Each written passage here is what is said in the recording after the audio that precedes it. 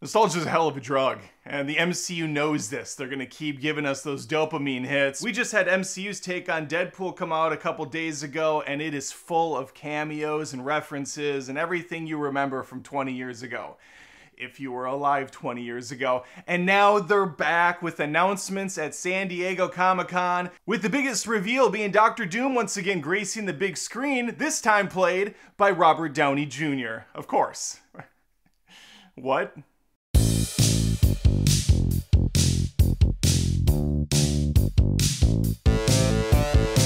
Uh, that's right. There was a big reveal on stage that the 59 year old actor is coming back into the MCU. He was never really gone, let's be honest. He was always returning somehow, either as a variant or a flashback sequence, or who knows, a ghost. Might as well. We'll throw go. There's witches in this thing. Anything's possible. And from what I read, he's not even an evil variant of Tony Stark. He's straight up Victor Von Doom, a completely different character.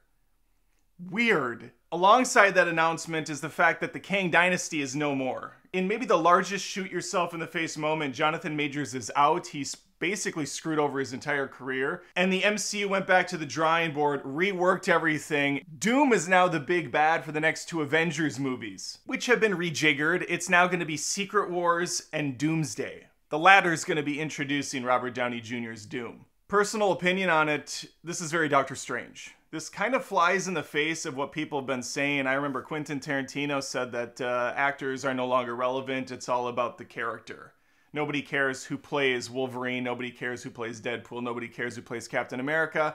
False. I think there very much is a market out there for people who like big name actors. Maybe less so the new generation, but my age and maybe 10 years younger, they definitely know actors and they're definitely excited about this announcement. Not all though. This is starting to feel a bit like What If, that animated series where different characters play different roles. What's next? Scarlett Johansson gonna show back up as Jubilee? Chris Evans shows up as Dr. Octopus. I loved Robert Downey Jr. as Iron Man. I think pretty much everyone universally did. He was fantastic, really the heart and soul of the MCU early on but he was sunsetted perfectly. He had a great ending. And so to bring him back as another character, a villain this time, it just kind of screams desperation to me. This is not a big revelation, but the MCU has not been on the best footing lately. A series of pretty mediocre to awful films came out in a row with Thor Love and Thunder, Ant-Man and the Wasp, Quantumania, The Marvels bombed. There's just not a lot going on for them at the moment. Plus, their TV shows have been incredibly lackluster to be positive about them.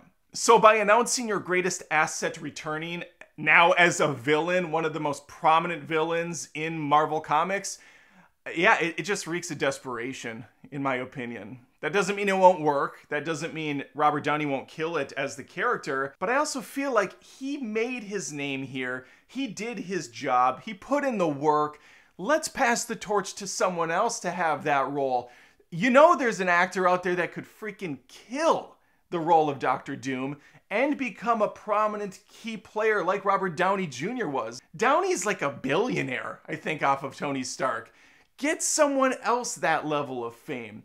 Don't just go back to the same well. I started out by saying nostalgia is a hell of a drug, and that certainly remains true. That's why they keep making sequel after sequel and remake and reboot. Twisters just came out, which is basically the same movie as Twister. There's no question people eat this stuff up, but I'm more interested in something with substance. Just putting a face to a character, just giving a aha reveal, Sure, dopamine hits great, right? But I want something for the long haul. And Robert Downey Jr., he's Iron Man to me. But by all means, be excited for this. Don't let me sour it. Don't let me Debbie down you out of thinking this is a great idea. It very well could be awesome. And I think Robert Downey Jr.'s played a lot of different characters over the years. It's, it's not like he's only Tony Stark. He has a ton of range. We just saw him knock it out of the park in Oppenheimer. I have no doubt he will do a great job in this role.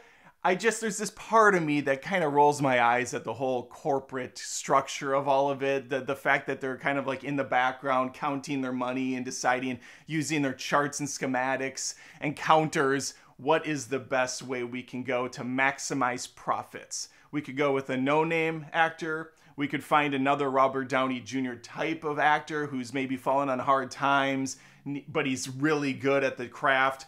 Or we could just go back to Downey.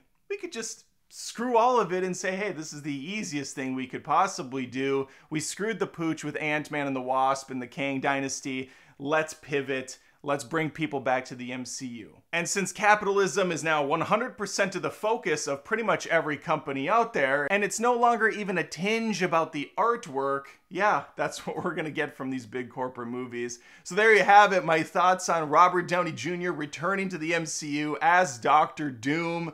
Sounds like he's not a variant of Tony Stark, which again seems very bizarre, but uh, here we are. We're along for the ride, I suppose. Let me know your thoughts on this. Leave a comment. Please like the video if you enjoyed the commentary. And I would love if you subscribe. I post movie commentary, reviews, rants, roasts every single week. Would love to have you stick around. If you really like what I'm doing, you can become a Patreon or a YouTube Join member right here on YouTube. I would appreciate the support. All right, take care.